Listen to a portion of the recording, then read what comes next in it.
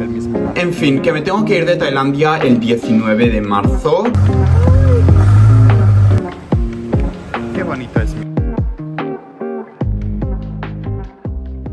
Buenos días, cafecitos. Bienvenidos a otro vlogcito más de mi vida exiliado. Aquí en Tailandia son ahora mismo las 6 de la mañana. Estoy bebiendo mi especie de iced americano. Y os preguntaréis, James, ¿qué haces despierto tan temprano en la mañana? Hoy vamos a ir a hacer el tour de los mercados flotantes o del mercado flotante. No se encuentra en Bangkok, por eso nos tenemos que levantar muy temprano. Hemos quedado con nuestro guía. Creo que van a haber como más participantes en el tour. El tour va a ser en inglés y os lo voy a dejar en la descripción y todo. Hemos quedado a las seis y media en el punto de encuentro que está a 10 minutos en mi apartamento. He dormido muy poquitas horas, así que espero que este tour merezca la pena. Ya obviamente os llevo conmigo y vemos la experiencia. Realmente no sé qué esperarme de este mercado. Solo sé que hay como un mercado flotante y tú vas con un barquito y puedes ir comprando cosas, quizás mango, no sé. Pero solo quería empezar este vlog para que tenga sentido lo que vais a ver a continuación. Y Paula ya se va esta noche, estoy como súper triste, voy a volver a estar solito. pero mirar todo lo que tengo aquí de Sony Angels. Ayer fue mi cumpleaños y fue mi regalo de cumpleaños, mi autorregalo de cumpleaños, dos cajas llenas de Sony Angels. Ya las vamos a abrir más adelante y estoy pensando que cómo me voy a llevar todo esto de vuelta a Corea. No sé, pero bueno. Disfrutar del vlog. Estamos adictos a los sándwiches de las tiendas de conveniencia. Este es nuestro desayuno de hoy. ¿Es este? ¿Seguro?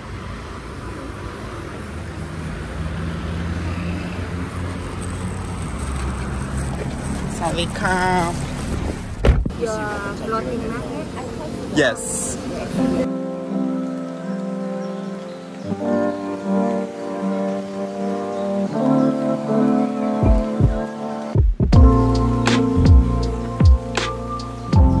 Hemos llegado al mercado y lo primero que nos dan es este platanito. Dicen que antes era para los monos que trabajaban en las plantaciones de coco, pero que los han dejado de usar a los monos.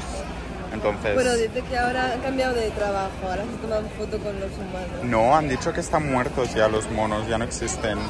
Antes, ¿no? bueno. Desgraciadamente aún son trabajadores.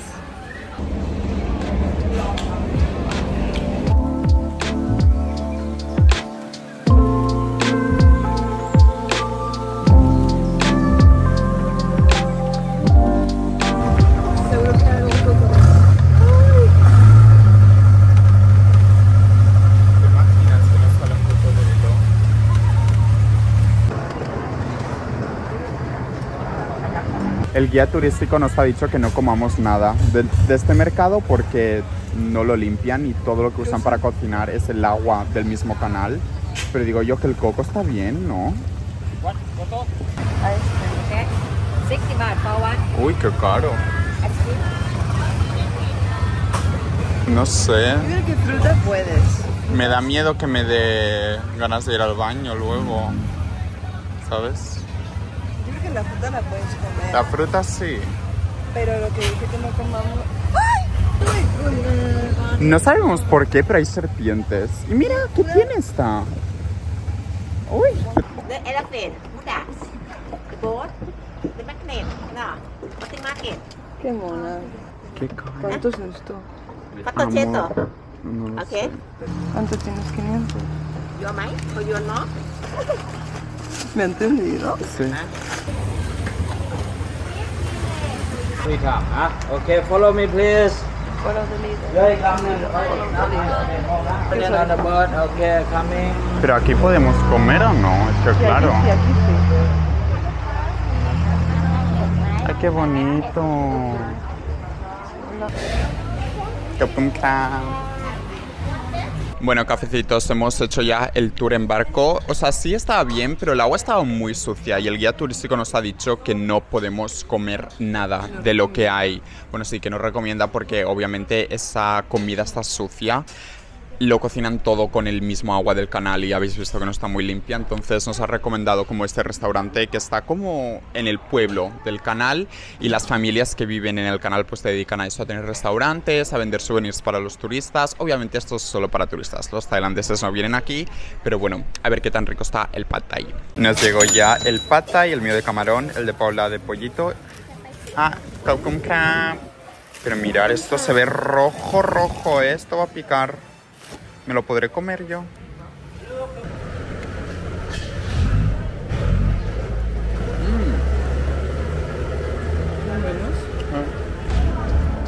No pica.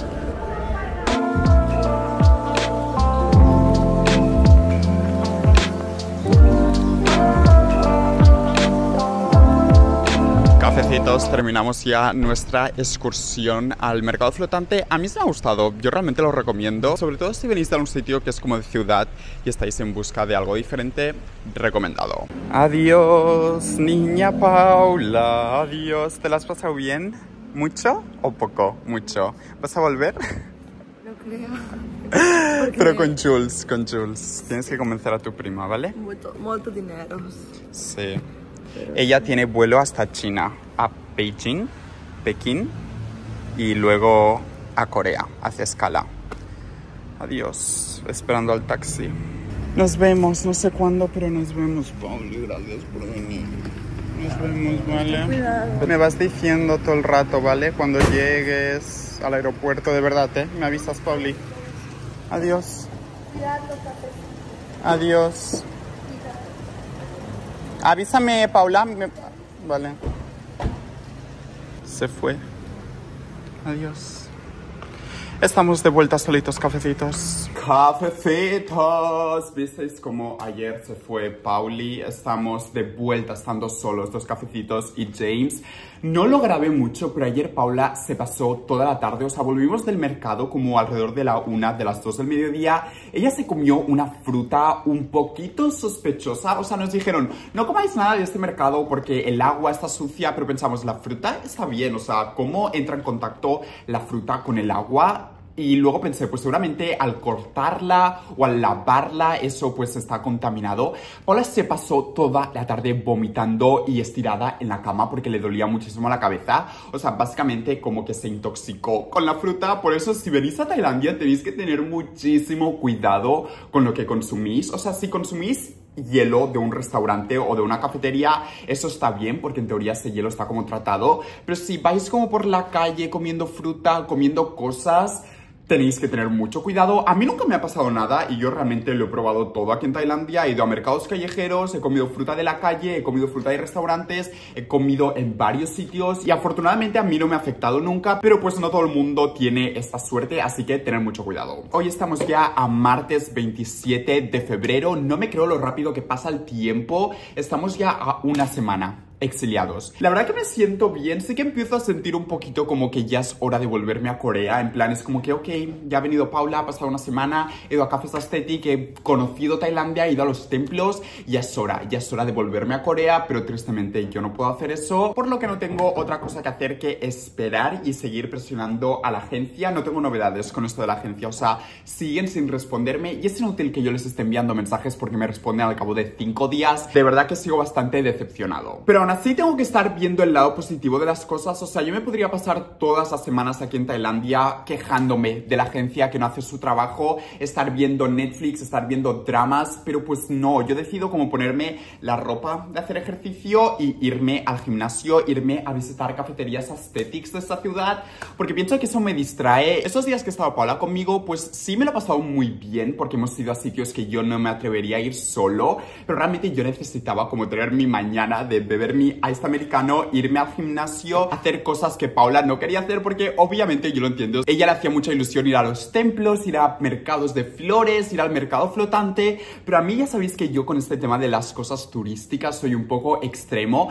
realmente porque, o sea, cuando fuimos a los templos, o sea, sí, pues ves atracción turística, pero no te das cuenta de cómo es la vida en Tailandia, porque ahí lo único que hay son turistas, lo mismo con el mercado flotante, o sea, sí ves la atracción turística y ves el mercado flotante, pues que en otros países no existe existe esto, pero no ves la gente local cómo interactúa en su día a día y eso para mí es como que lo hace especial. Cuando viajo, yo la verdad que no tengo ningún plan como determinado, pero quiero, o sea, he descubierto como una marca local tailandesa que todo lo hacen aquí en Tailandia. Yo sigo como actores tailandeses, al igual que en Corea es muy famoso el K-drama y como los actores coreanos y los idols, aquí en Tailandia son muy famosos y famosas las actrices y actores de los dramas tailandeses. Sobre todo aquí hacen mucho como boy love drama, creo que se llama así, en plan de homosexuales, cosa que en otros países no suele haber como tantos dramas de chicos homosexuales que se enamoran, pero aquí en Tailandia sí, hay muchísimos. Los actores son guapísimos y yo sigo como un par de ellos en Instagram y ellos siempre están como compartiendo esta marca tailandesa. Toda su ropa se ve muy estética, entonces yo me he puesto a investigar esta marca y digo, ¿dónde la puedo comprar? Porque solo me daba como el enlace online. Al parecer mis vecinos están haciendo obras, os pido disculpas por eso. Pero les he enviado un mensaje a la marca por Instagram y les he dicho, hola, estoy aquí un tiempo en Tailandia, ¿dónde puedo comprar vuestra ropa en un lugar físico? Y ellos me respondieron, me han respuesto y me han dicho que lo venden en un centro comercial, así que ese va a ser el plan. Creo que hoy sí que os voy a llevar al gimnasio conmigo para que veáis como mis ejercicios. Por favor, si me veo gracioso, no me juzguéis. Vamos al gimnasio.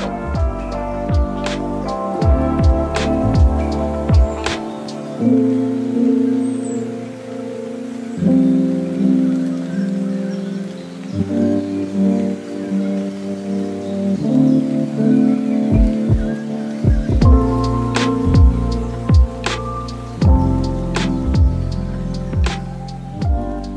bonito es mi barrio, en realidad está lleno como así de paraditas de comida, de fruta. Uy, mira estas fresas, son ricas.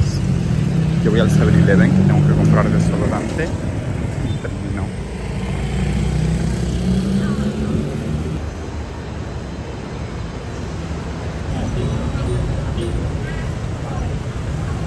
Venir a un centro comercial en Bangkok significa estar conociendo alguna especie de modelo o de actor de dramas tailandeses. Creo que aquí está pues este chico, no sé yo quién es, si alguien lo sabe, que me lo diga, pero oh, Dios mío, mirad la cantidad de gente que hay esperándolo. Está promocionando algo de skincare. Literal, la primera vez que me compro uno de estos bobas de matcha y mirar mi camiseta. Qué desastre.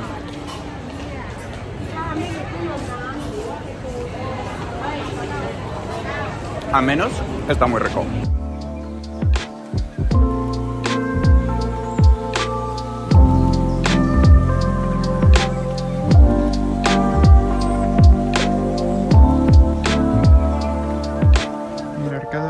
Todos estos pijamitas. Pero siento que voy a pasar calor. Me encantaría comprarme un set, pero de estos solo tienen como los pantalones. Así que bueno, está bien, pero Dios, me encanta todo, es súper estético. Cafecitos, traigo malas noticias, traigo malas noticias para vosotros, para mí, para mi cuenta bancaria, o sea, literalmente me estoy quedando sin dinero, sin ahorros en todo este proceso de estar exiliado. ¿Cómo os cuento esto? A ver, básicamente yo habéis visto que estaba la mar de feliz allí en el centro comercial paseando por Bangkok, sintiéndome un poquito así como solito y me he puesto a mirar TikToks y básicamente me ha salido el vídeo de una chica, o sea, literalmente TikTok salva vidas. Yo no sé qué haría sin la aplicación de TikTok. Yo ya no uso Google, yo ya no uso como busco algo en Google, yo lo busco en TikTok. Pero en fin, que me sale el vídeo de esta chica hablando de los sellos que tenía en su pasaporte, diciendo que había viajado a no sé cuántos miles de países y enseñando los diferentes sellos que pues ella los coleccionaba de alguna manera. A mí muy pocas veces me han puesto sellos cuando he entrado a un país. Yo me acuerdo que en Corea siempre te dan un papelito y te lo pues enganchan en el pasaporte, pero es como un ticket. En Hong Kong me dieron este ticket y me fijé, me acordé al ver este TikTok de que en Tailandia sí que ponen sello.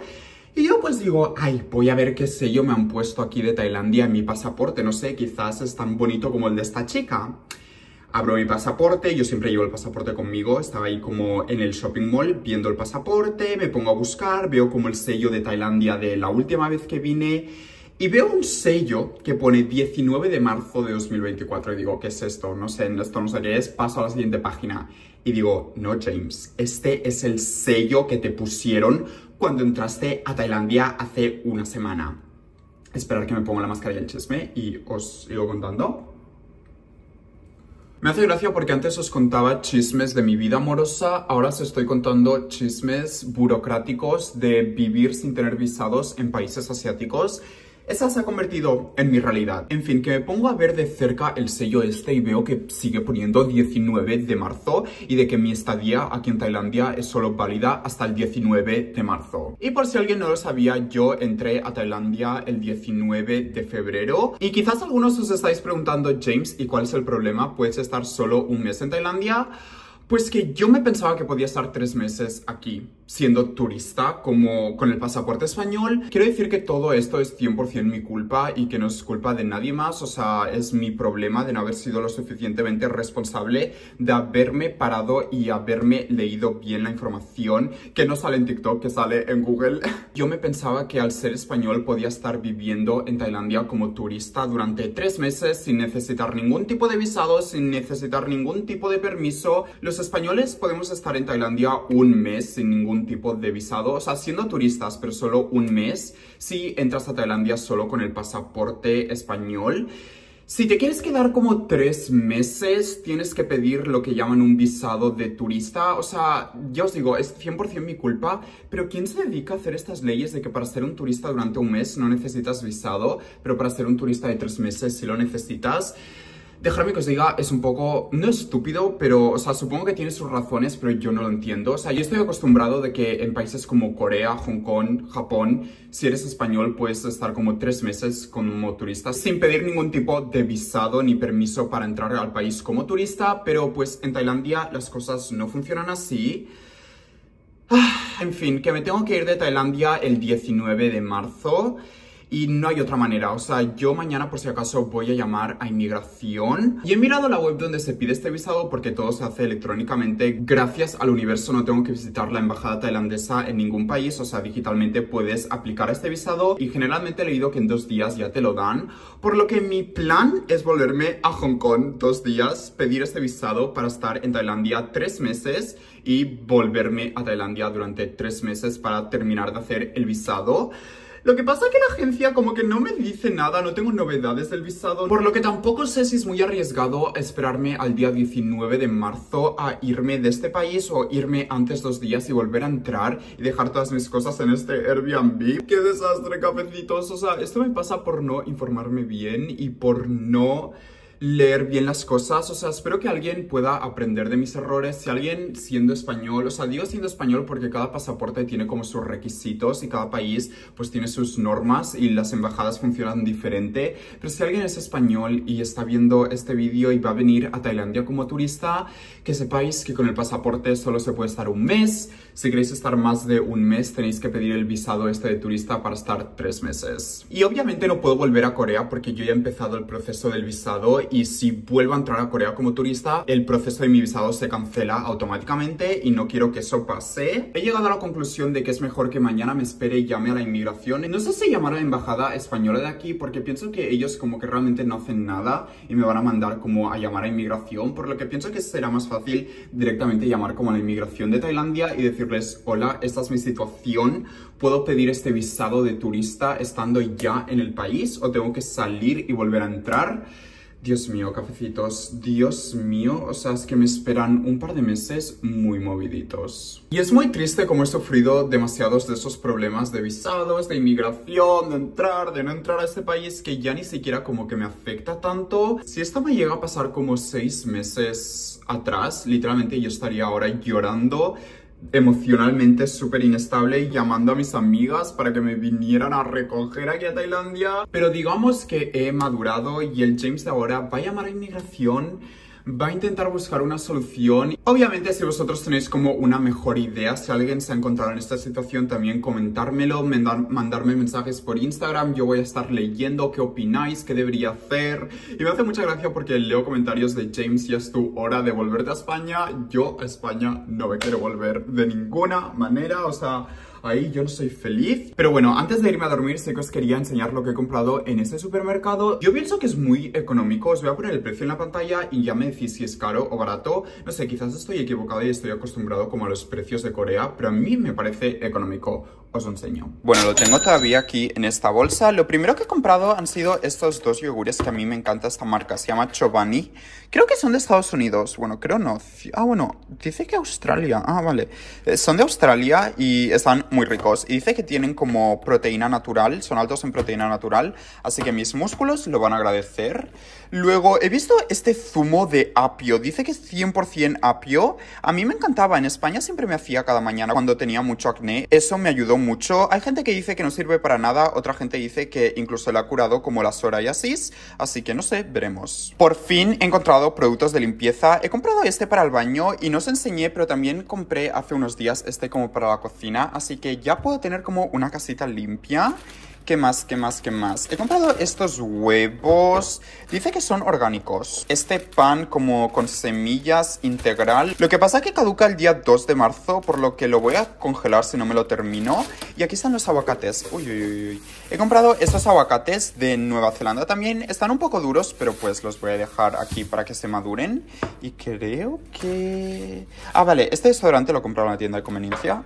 Y esto es como una especie de esponja para limpiar el baño.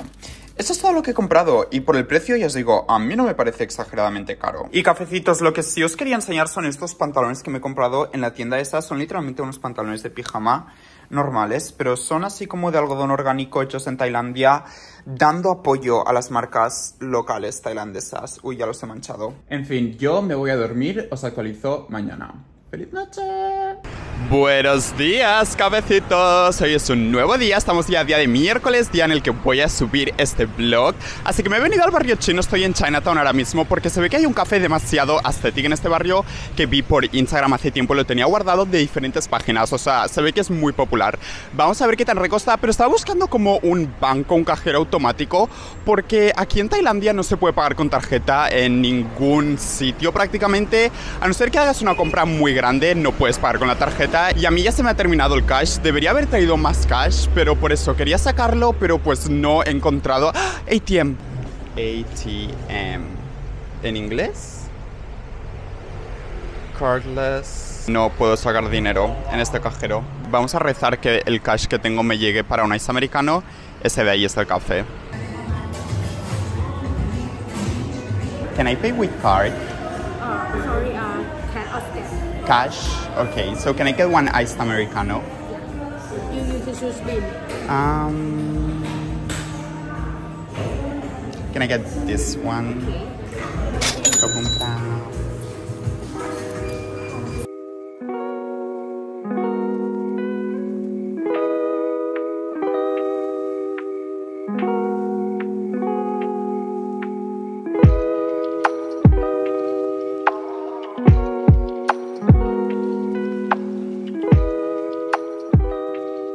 Habéis visto, solo me he podido comprar el Ice americano. La verdad que sí supone un gran inconveniente para mí que no se pueda pagar con tarjetas en Tailandia porque yo casi nunca llevo cash conmigo.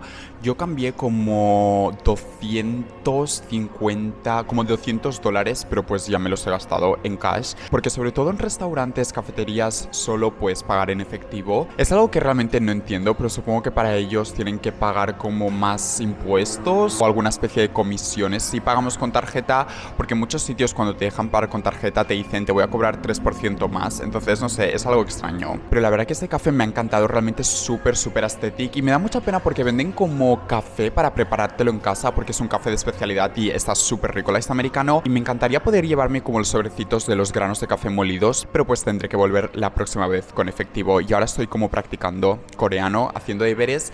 Es bastante fácil estudiar coreano por uno mismo, o sea, de manera como solitaria, sin profesor.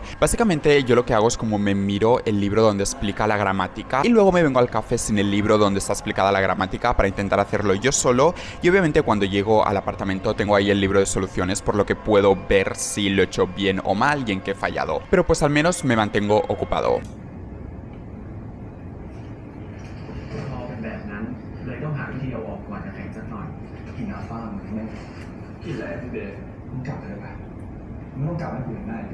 Cafecitos, he terminado ya de editar este vlog. Como habéis visto, ahora yo soy el obsesionado con los dramas tailandeses. Ayer por las historias de mi Instagram os pregunté que si alguien estaba viendo este tipo de dramas de homosexuales que se enamoran, o sea, los dramas homosexuales tailandeses lo llaman boy love dramas, que me recomendara alguno. Y cuando os digo que estoy sorprendido con la cantidad de gente que me respondió de mis seguidores que ven este tipo de dramas, mucha gente me recomendó Pete Babe, Pete Babe se llama, es el que estoy viendo ahora mismo y la verdad que estoy obsesionado, me voy a quedar como hasta las 2 o 3 de la mañana viendo el drama entero. Es un poco tóxico que empiece a ver estos dramas estando aquí en Tailandia y siendo homosexual, porque entonces voy a empezar a querer quedar con chicos tailandeses, voy a subir mis expectativas sobre, sobre lo que es el amor en este país, entonces eso no va a ser muy sano. Pero os quería decir también que he llamado a inmigración y no me han respondido, entonces mañana me toca seguir llamando. Hablando de mañana tengo un plan súper, súper divertido preparado, pero eso ya lo vais a ver en el próximo vlog del domingo. Yo me despido por ahora, ahora, espero que hayáis disfrutado el vlog, se ha quedado un poco corto. Como siempre, si habéis llegado hasta el final tenéis que comentar el emoji de un cafecito y os veo en el próximo vlog. Bye, bye, bye, bye, bye.